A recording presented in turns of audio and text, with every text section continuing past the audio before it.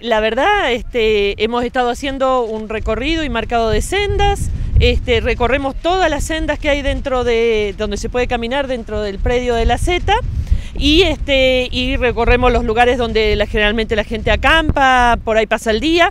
Y la verdad que estamos notando que hay poca gente que vuelve a Esquel con sus residuos, eh, lo cual para nosotros es un problema porque este, no es fácil que este, venga, tenés que hacer todo un trámite para que venga el camión especialmente hasta acá a levantar, como ustedes ven, una cantidad de, de, de tambores con basura que este, eh, está complicado para... Están prácticamente detonados ya.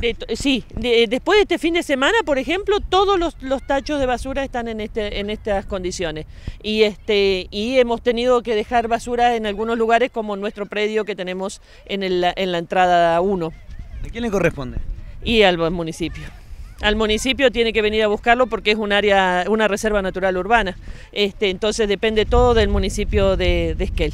Sí, eh, lo que sí sería espectacular es que la gente tomara conciencia y en lugar de dejarla acá, donde la desparrama, ustedes habrán visto, no hacer fuego fuera de los fogones de cemento, eh, no este, llevarse la basura, eh, traerse lo que vayan a usar de combustible, no me corten arbolito ni, ni ramita, ni junten ramitas de, pino para hacer los fuegos, este, y eh, por favor, por favor que se lleven la basura, si fueran tan amables, gracias.